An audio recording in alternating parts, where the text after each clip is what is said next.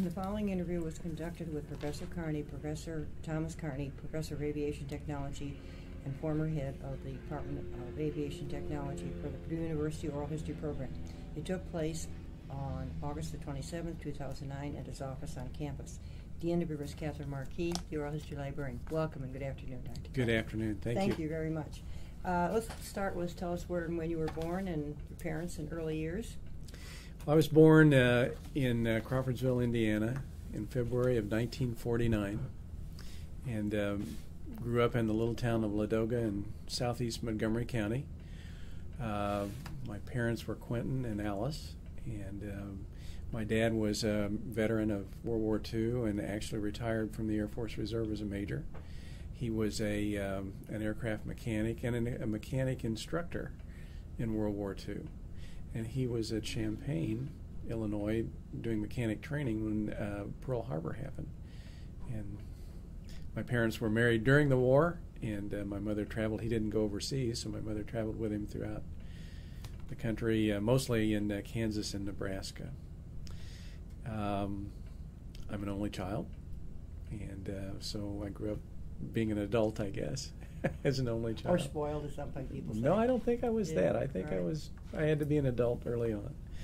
What about your early years? Where'd you grade school and tell us about that and not as well as high school? Okay. Uh, in those days, each little community had their own school. So I went to Ladoga Grade School and then Ladoga High School. Were they separate? Actually, they were two buildings separated by a. Um, so they were in the same area? Yeah, well, they were right next to each other, and a gymnasium in the back, and it was the Ladoga Canners, and uh, my wife graduated from that same school a year later, and little schools like that didn't have a lot of extra type courses, but they had the foundation courses, and they were really good places to Give learn. you a good grounding. So that little school had, I think, produced a number of professors, teachers, doctors, the occasional attorney. It was a good school. Were there any student clubs at that time that you could? What about athletics? Did they have little basketball or? Oh yeah, football? I, I played basketball until oh, through junior high. I played uh, football, junior high and high school all the way through. Played uh, baseball in the summer, ran track. Um, so, and it, it was a small enough school that most everybody who wanted to participate could do so. Do so. Yeah. That's nice. Did they have a yearbook or a Oh, yeah. newspaper? yeah. Yeah, That's kind of nice. and Get a uh, lot of people work on those, you know, which is really kind of fun. yeah, and they're a storehouse of, you know, fun pictures and treasures. I know. Yeah. Like the debris here. Yeah. But I was in the National Honor Society and probably the Science Club, and and then I worked during high school. I worked at a filling station, and in the summertime I baled hay and straw and worked on the farm. Did even though I lived in a, town. Did your parents have a farm? Or No, I lived in lived town, but Okay. I, it was such a rural community that I could work for farmers around. Good. Then tell us how you happened to select Purdue, and let's talk a little about your Purdue years. Um, Well, actually, it's almost the Purdue selected me in a sense. Um, I uh, I was as a junior in high school thinking about did I want to go into science, nuclear physics? Did I want to be an engineer?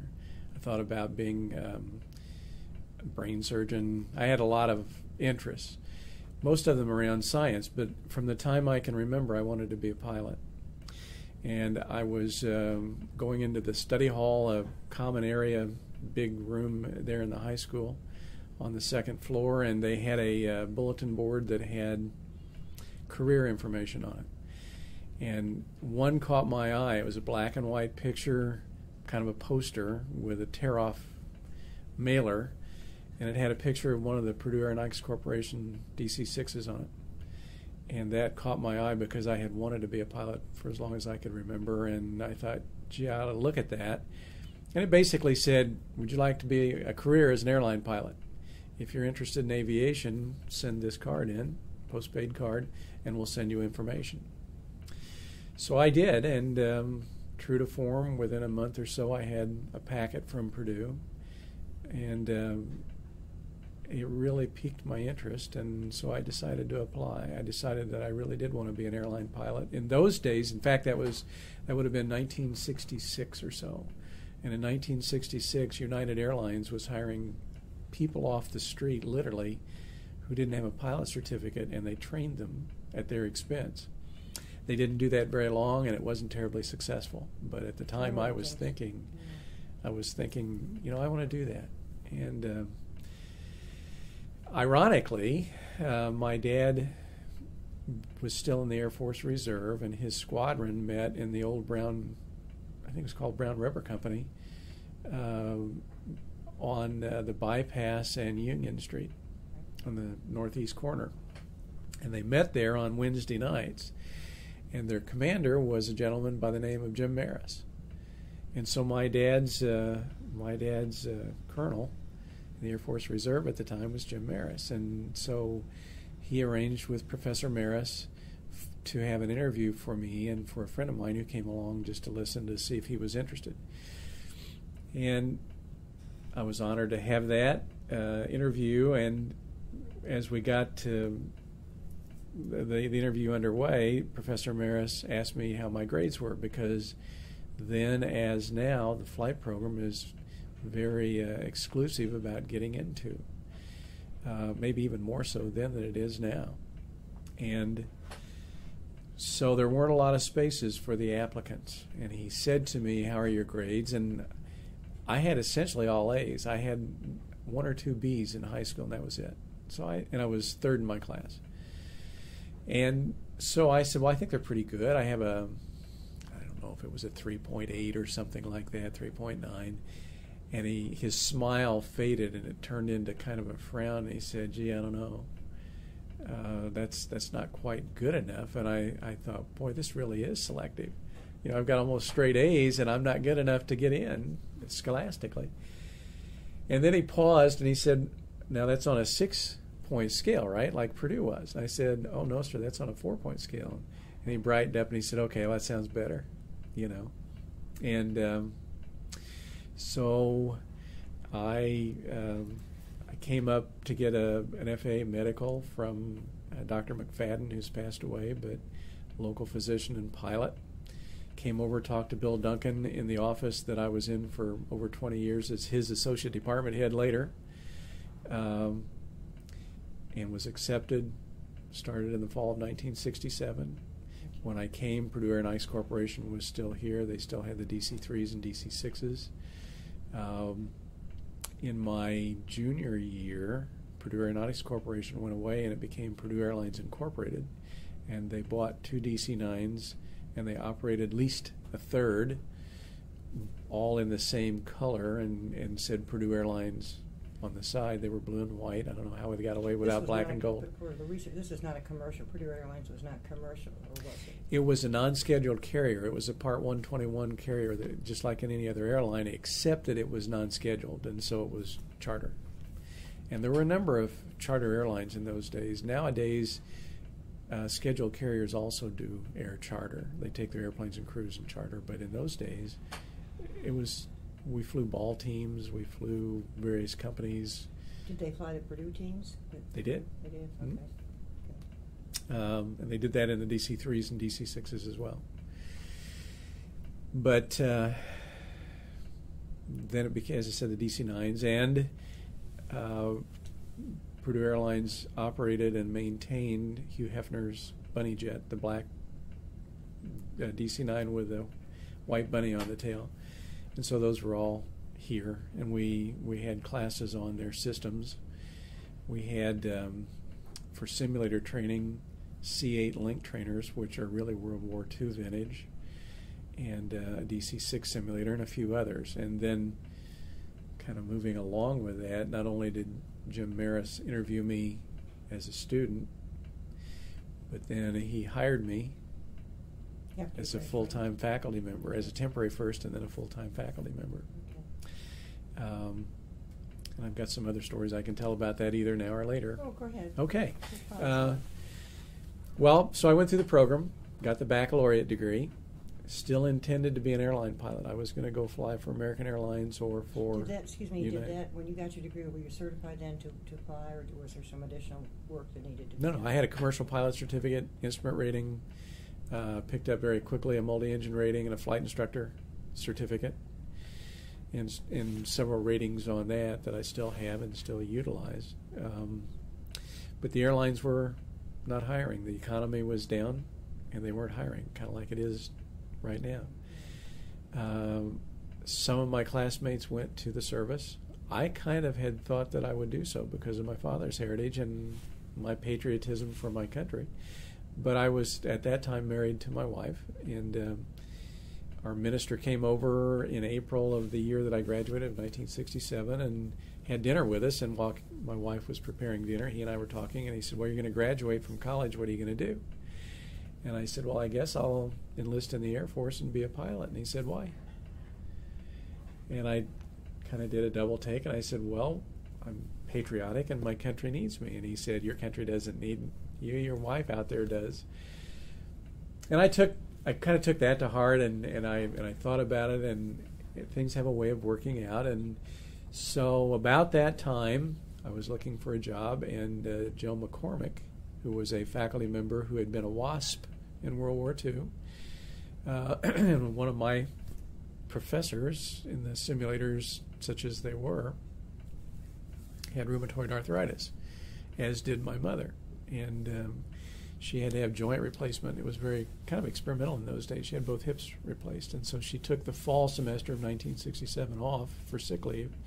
And Professor Maris hired me as a temporary instructor to teach in the simulators I just graduated from. He was now the head of, he was the head of the department? Oh, yeah. He was Yeah. from, it, from From its inception. Okay. Yep. And so, and that was in 1954, 55. Right, that's what I understand. And this was now 1971.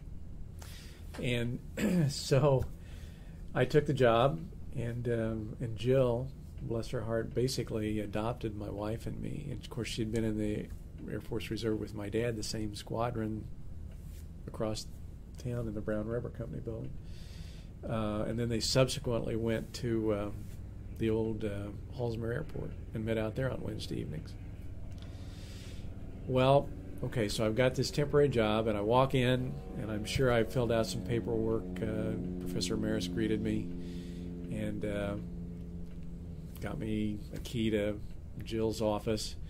And then he, he said, okay. And he gave me a handful of regs and a five gallon bucket of wax. And he said, the students won't be here for a couple of days. The uh, simulators need swept out and you need to wax them.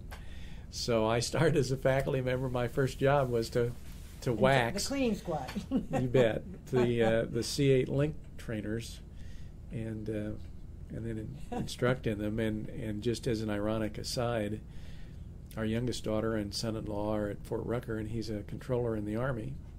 And we went to the Army Museum, uh, uh, Army Aviation Museum at Fort Rucker, and upstairs there is a link trainer. So I have a picture of me this month by a link trainer, like I started instructing. So that was in the fall of '71. Jill came back. I worked for Reed Airways, which was here on the airport as a full-time flight instructor and a ground instructor. And at one time. wa- What was uh, Reed Airways? Was it a commercial or? no, well, it was a fixed base operation. It's called or an FBO. And in those days, Purdue had the fuel. Um, um, Contract? Right. They the, the the the fuel servicing for aircraft they did Purdue it, itself and Bill Fleetemeyer ran that and ran the airport. I remember him, I met him a couple, Yeah. a couple of times, because you remember the airport used to have that restaurant out here? Yes, the Sky And he used to be out there, and, and I got a chance to meet him, because I used to come out here for lunch, and it was just great. Oh, the whole campus did. Oh, And you know that was the nerve center of the airport. Oh, I People bet. who people who taught the airline, the FBO, the tower. Well, the tower wasn't here then, but the flight service station was, and all the students. Oh, sure. And so there's probably a lot of inaccurate gossip that came out of that, but that's really how everybody knew what everybody else was doing.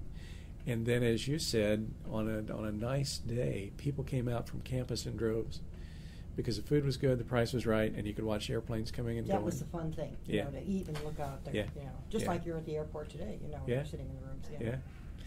So, so I worked for Chuck Reed as a full-time flight instructor, and, and that was in the spring of 1968.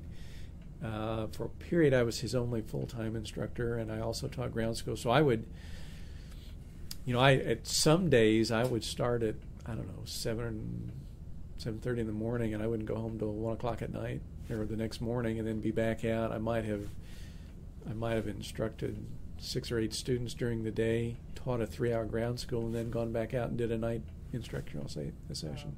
Were the students with the APTEC? Is that what? the- Well, the they were they were Purdue students Oh. just as they are with Lafayette Aviation now. Okay. Um, we also had, I think we had both Navy and Air Force ROTC screening. There was a, a cadet program that they paid civilian operators to basically get them almost through a private pilot certificate and make sure they had aptitude, didn't get airsick, that kind of thing. Okay. So we did that. Um, That's a full schedule. it is. Yeah. And if you know if you know Bob Zink, well, Bob Zink was an instructor for Chuck as well, Is even though a full time math professor. So Bob and I have been friends since spring of 1968, Sure. And uh, and then in August of 19, excuse me, it would have been 1972 that Bob and I met. Um, in August of 1972, there was an opening for an instructor, full time instructor position at Hangar 6 to teach in the small airplanes. And so I applied for that. Jim Maris, bless his heart, hired me again. And uh, so I instructed in the uh, piston fleet and started teaching in the ground schools for pilot like certification. teaching. Oh, yeah. Yeah. Um, and there's another little piece to that. I, I started there, and I two things happened that are pivotal, I think, to my still being here, among others. One was that I started teaching the instrument ground school, and I became I, I was doing a lot of instrument instructing as well. And I, in teaching the instrument ground school and weather flying, I had had a weather course uh, that I took from Bob Dale, and uh, in agronomy and it was a survey of meteorology course a friend and I took, and it became later a requirement in the flight curriculum.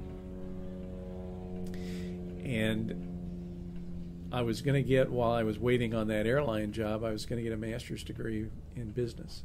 But I took a course in uh, entrepreneurship. It was an excellent course, but I just, it wasn't my niche.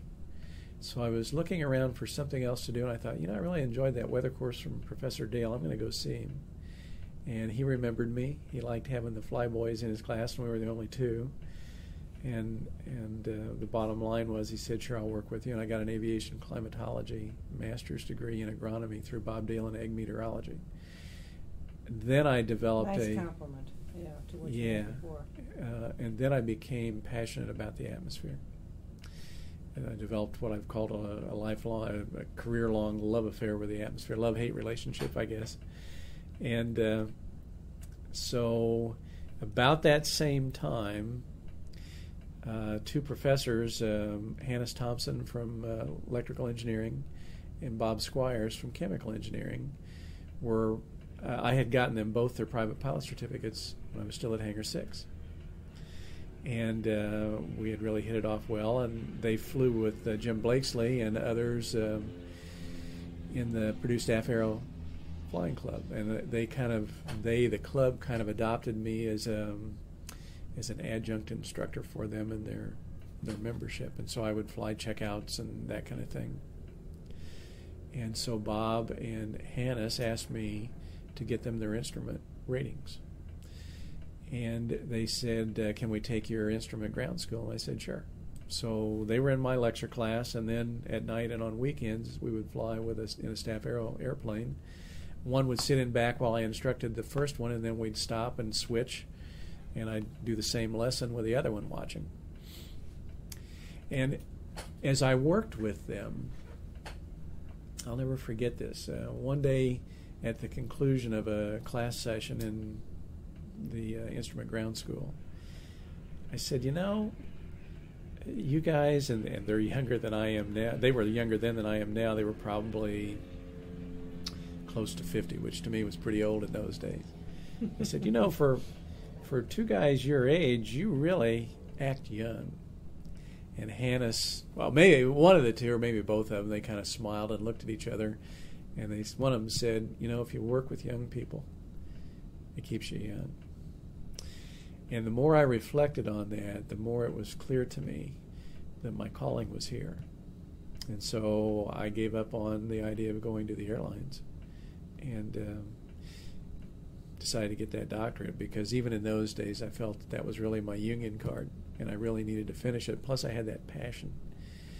Um, and that wasn't easy because I was working full time. I was a half time grad student, and my wife and I started our family, and so we had I read something that you really, took a while. Yeah. That's a big load. Yeah. Big job. yeah. So it did take a while, but um, Then the- Persistence the- paid off. I know, and you finally got it. Yeah. So pleased. Yeah. Yeah. And about that time, another pivotal thing happened in my career uh, when Dr. Beering came, uh, because Dr. Beering, he's been such a role model for me. He's like a father to me. Um, Had you met him before he came here? Or? No. Oh, okay. No. Um, and being the dyed-in-the-wool boiler that I am, and when I thought that we've got a we've got a president coming from IU, I thought, what's wrong with these trustees? You know, little did I realize until I really got to know him how wonderful he is, and Sure. uh, and Mrs. Beering, and and they are like family to us, and uh, still. But he was so good for aviation technology and for the entire university, but but he understood, having been in the Air Force, understood pilots. He liked airplanes. He liked Right. us. He'd been involved in the early uh, astronaut program Yes. down there and really. Yes. Right. And had it not been for Dr. Beering, my my whole career would have been profoundly different. But because he bought the um, the King Air airplanes, and then later the first jet, and then the second jet, and the the newer King Airs that were still operating, because of his vision and because of his um, strength as an administrator, I think, to make things happen when they weren't always popular, because they were the right thing to do. Um, And he foresaw that and realized it as well. yeah, and um, so we we got turbine airplanes that have, for over a quarter of a century, have served the travel needs of the university community, and I think uh, you know I've uh, Dr. Mason when she was provost told me one time that you know when we're after a, a dean, you guys complete the sale because if we pick somebody that we really want and we send you to bring them and their family up for the final discussions and then you take them home in that jet airplane, they're hooked. Because what's, what's the shelf life normally on your planes now or the jets? Well, do, do, do you turn it? Is it the mileage? Uh, no, it uh, actually. I into that because I, I sometimes raise that question in my mind about cars. How long, you know? Sometimes I've I've kept them for quite a while. Uh, like I had a Pontiac that was more than probably ten or eleven, and it just didn't have many problems with it. Of course, it didn't have a lot of heavy driving. I should say. Well, the thing about an airplane, an airplane has to be maintained by law with a very stringent set of standards and a, a stringent protocol that's established by the FAA and the manufacturer. Okay. So it's really kept in essentially, in one sense, almost new condition all the time. Sure. The thing, uh, the thing that an airplane like the ones I'm describing has, it has cycles, and in particular pressurization cycles. We just test flew an airplane this morning that, that we may be able to get. It's a jet airplane. It has, um, I think it's 35,000 cycles or 35,000 hours, whichever comes first. It's got a long life. Um, the King Air that we have, the King Airs, I think their pressure vessel has a 10,000 hour life because every time you pressurize it, even though it's metal, it expands and then it depressurizes, it almost deflates. Yeah. And that constant motion Motion. eventually wears anything out. So, you know, realistically, those airplanes that we're operating are still excellent and in excellent, excellent shape. Yeah.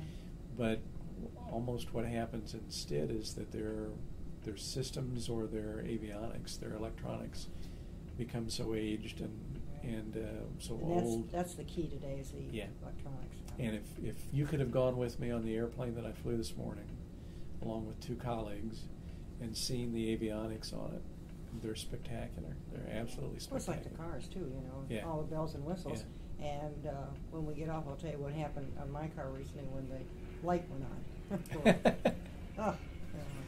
that's that's nice though. Yeah. And, and I think your point that you're saying about taking the people from and to and from, it affects the same thing when you have a colleague come. A lot depends on how you interact with the with the individual, and you do. And sometimes you get, and it's. I've often said to colleagues when we bring candidates in, they're looking at us just like we're looking at them. Oh, sure. And some people don't seem to get the message. Yeah, and we always felt that we were in. You know, I was director of operations, if you will, then, and or chief pilot of that part. Sure. And we tried to always be sure that we we were really the um, the extension of the university. We were ambassadors to the university, and so we always tried to leave a good impression. Right. And um, And that's really key. Yeah, in the old days, we would go pick up uh, potential student athletes. Nowadays, the rules have changed, so we don't do it that much. But I've gotten to know a lot of uh, very good student athletes, you know, and I'll tell you a little bit, just a little uh, of Yeah. other people we've had the honor of flying. So that's that's kind of how I stayed here. And, and Bill Duncan, uh, Jim Maris was uh, injured in a, an auto accident, and basically that led to his retirement from the department head position. And that was in 1981, nine years after I'd started full time. And uh, I still didn't have my PhD and I had my master's degree, and I had done a But you were starting to work on a PhD. After Oh yeah, I was I was sure. underway. Right. And and I there was a an incident with one of our transportation airplanes that was the the pilot, the captain felt was weather related and Bill knew that I was I'd already had a master's degree in it and I was working on a doctorate and he asked me to do a study. And I guess working with him in that way he really liked what he saw. So when he became department head, he asked me to come over and serve in essence, as an I was an, an administrative assistant because I was still working on my doctorate. Okay. So he couldn't call me assistant department head, but I did a lot of that.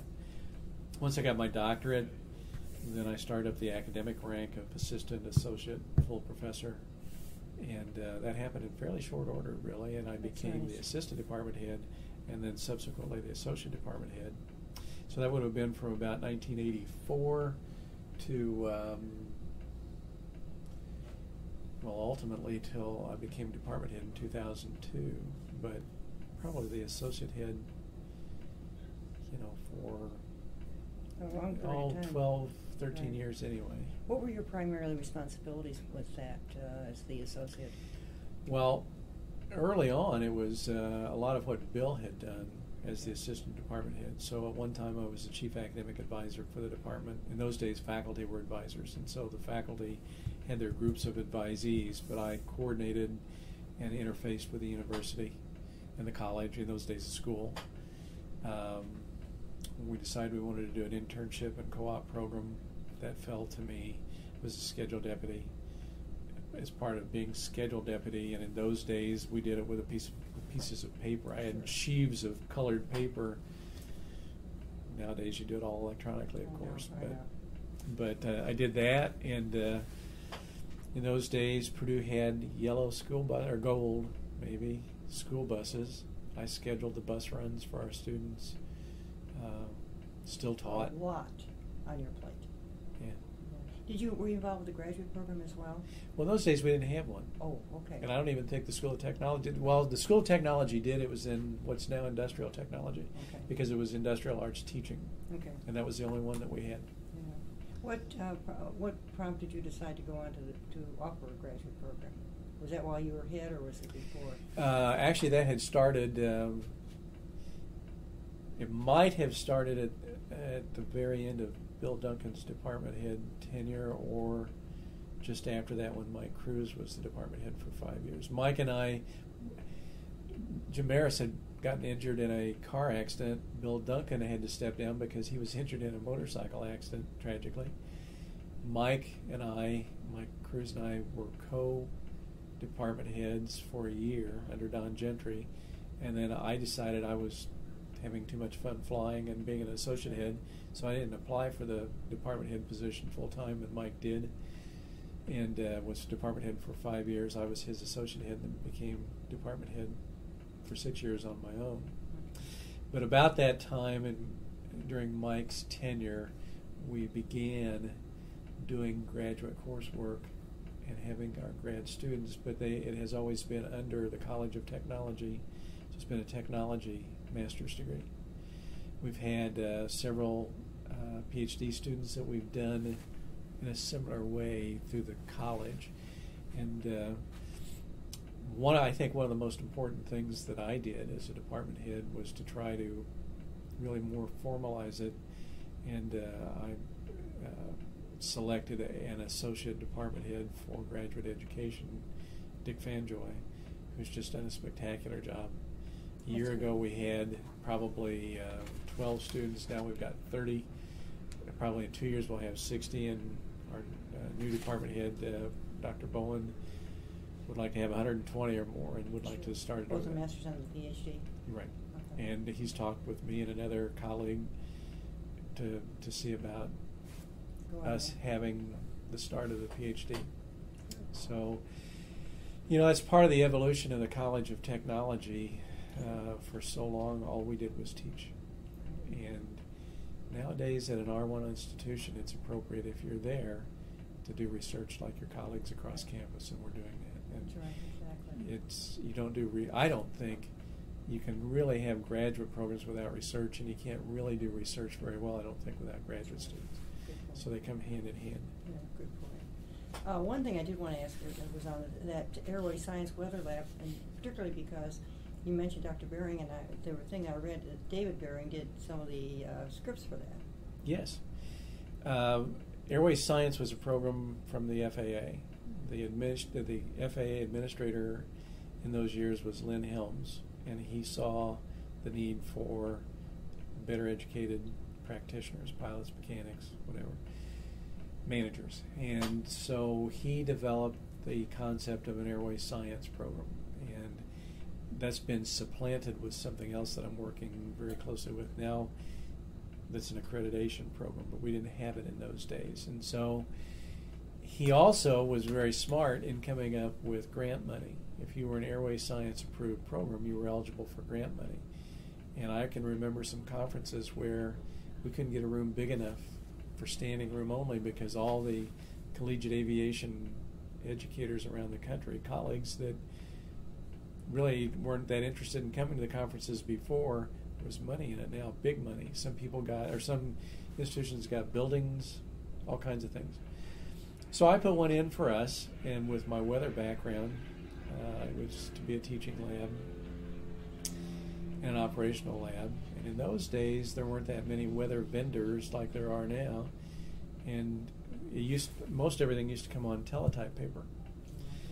Well, this was the advent, you know, the the mid '80s, I guess, of more and more smaller scale desktop computing, Unix machines, that kind of thing. and I had uh, gotten to know and be friends with David Beering, who's Dr. Beering's middle son, middle of three.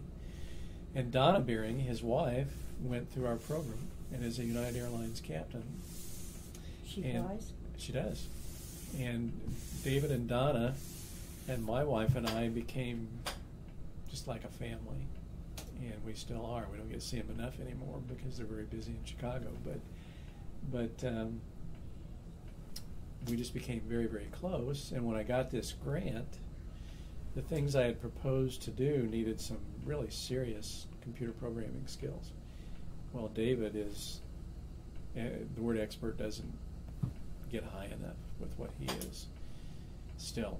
And uh, so David, just being the great guy and great friend that he is, on weekends, Saturday nights, just down the hall, we'd start at 8 o'clock after dinner. Um, I don't even know if Dave and Donna were married then. Donna may have come over and just spent time with my time wife. well? Uh, I think she might have been. Oh, okay. Yeah, she probably was. She was Mhm. probably finishing then because David was still working on his master's degree. She probably was just about to finish herself. So David and I would come out and we'd work till one or two in the morning programming this Unix machine and making it take weather data that that were available online, but coming in a data stream. David put on a program that just listened and said, "Well, that's got this characteristic and that's got that characteristic," and based on that, he programmed it so that when it came across with a data stream, it said, "Oh, it's this kind of information that goes into that file." And it took somebody like David to do that, and uh, we just became closer and closer. We put a we had a uh, an airborne radar, surplus radar. I wanted to teach radar, so we just took it upon ourselves to find a place up on the roof. So we were up on the roof nowadays you'd probably be arrested or shot, or shot and then arrested. But things were a lot different then. So on, Sure. was a weekend, sunny afternoon, uh, like in the summertime, whatever, we'd be up on the roof doing things. Super. And uh, Kind of a nice thing. It worked out well for you. Then. Yeah. Yeah. And I had this indicated some, but you've got quite a few gifts, and you have addressed those that you've gotten over the time.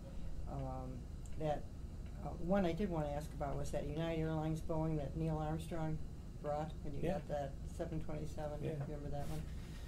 this is a the uh, number one throttle or thrust lever handle from that, and I've also got here in the office the yoke that he used. We preserved that.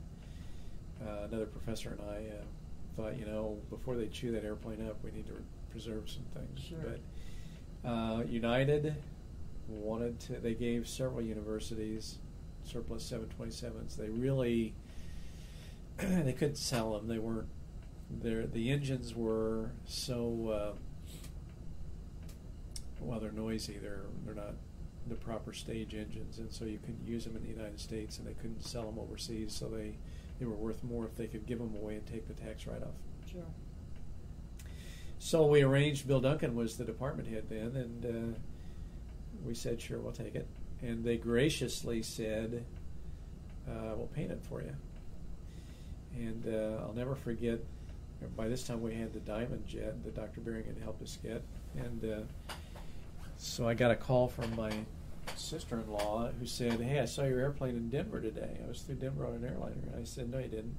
She said, "Yes, I did."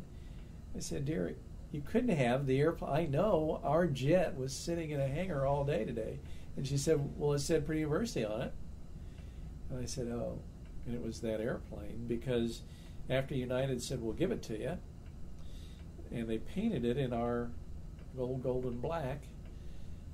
They said, "Oh, we've got to do uh, ground de-icing tests. We need an airplane. We need your airplane through the winter in Denver to do tests for de-icing." So, indeed, she saw our airplane. We were just talking about two different airplanes. So then, the time came to fly it in, and. Um, they arranged because Neil Armstrong was both on our board and United Airlines board. He was, in fact, he's the one that got us for us, I'm sure. And so he was going to be on board along with some other dignitaries, and they they ended up having their most senior engineering test pilots fly there as the crew on it because the airplane was out of license. It had sat in Denver you know, airplanes have to be inspected, as I mentioned earlier, with a very strict protocol, uh, either flight time or time since last you know, Yeah, right. inspection. And uh, it had sat so long it was out of license. It wasn't current, and it needed to be inspected, unless it was flown on a ferry permit. And a ferry permit is a special authorization for flight from the FAA for valid reason to take an airplane somewhere to get worked on. Well, they were going to bring it to here to be worked on. They were going to bring it here to never fly again. So they said, okay, and they gave them a ferry permit. Well, with a ferry permit, it's normally because the airplane, by definition, hasn't been inspected. You don't know if it meets the maintenance requirements, air airworthiness requirements. It's supposed to be essential crew only.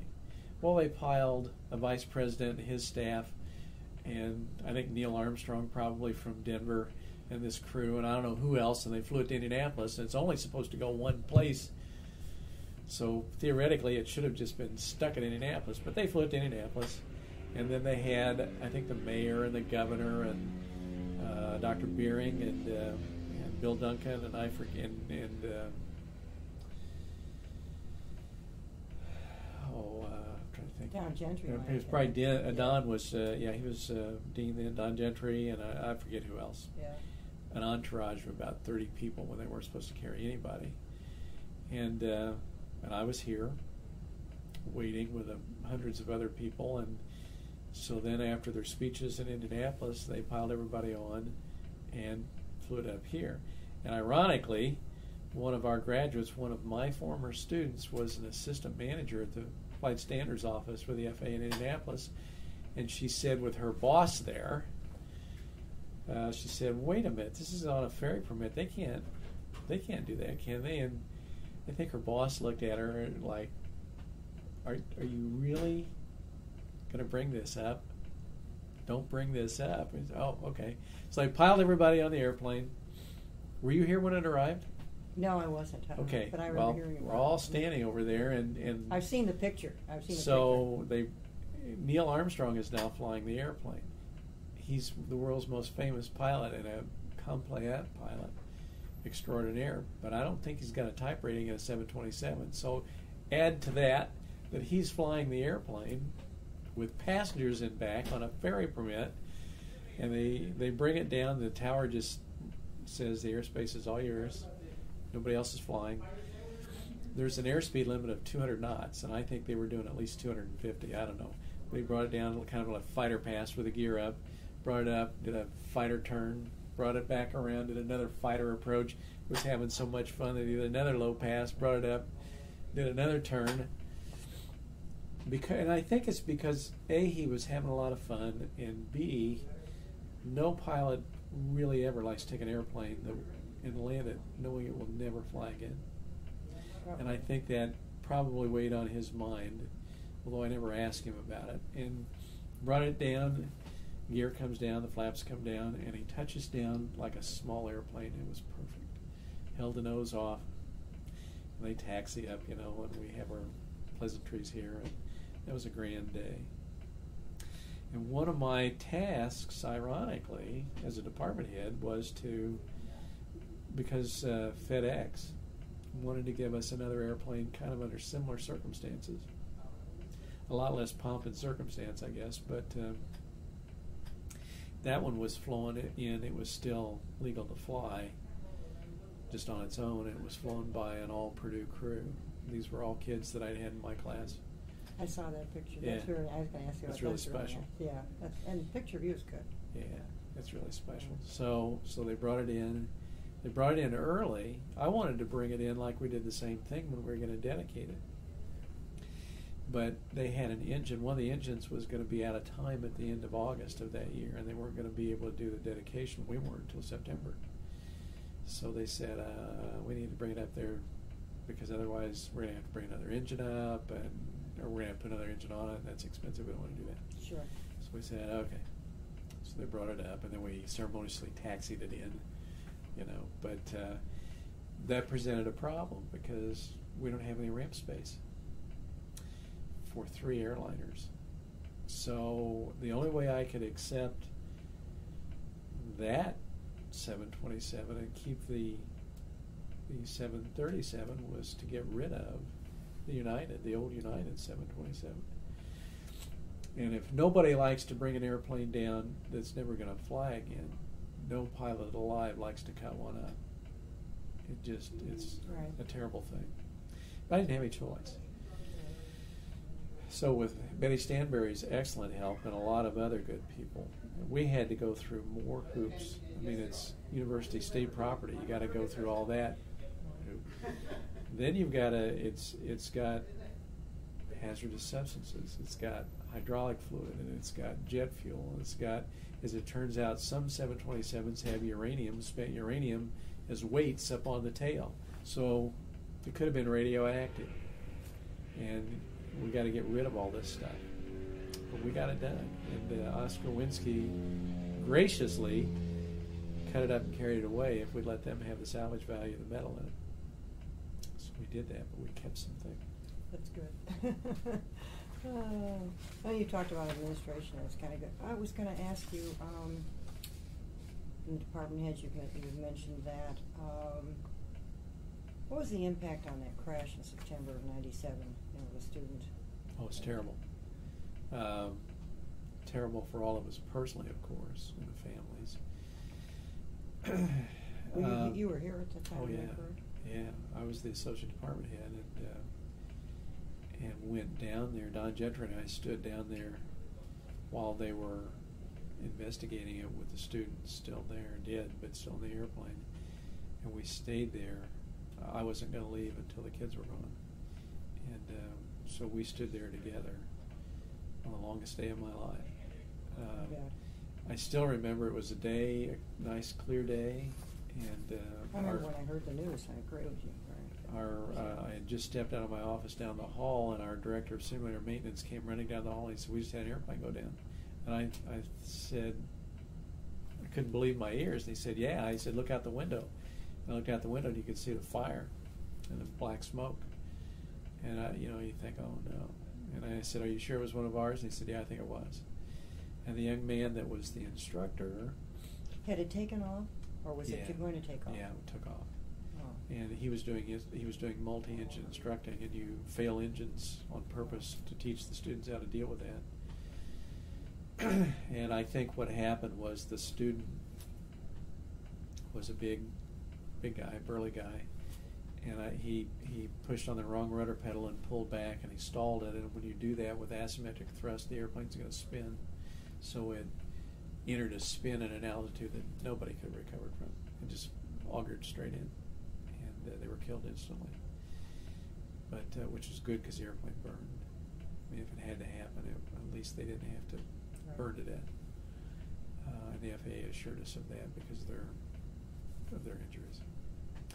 But uh, you know, I saw it, and Mike Mike Kroes was the department head, uh, and Mike said, "Go on down, and I'll deal with the press and whatever up here, and you take care of it down there." So I did. Spent the day with, with Don. Uh, the, as I started to say, the instructor was very close to me personally. He had flown the the Diamond Jet that we had. He was one of the special group, and uh, just the nicest young man. Was he married? Did he have a family? Oh, he was engaged. Uh, and his parents, I came to know his parents really well, and uh, they're just the nicest people. Very opportune. Yeah.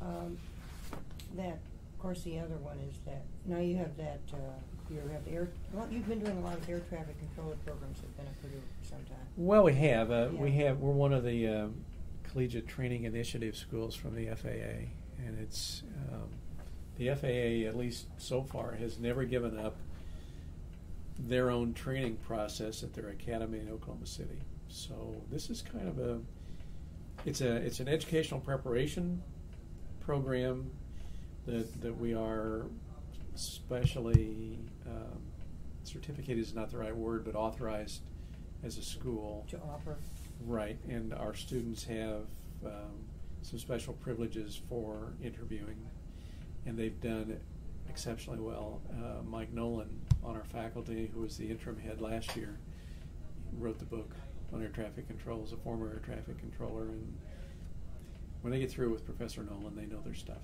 and the FAA knows that, and uh, so it's it's that preparation.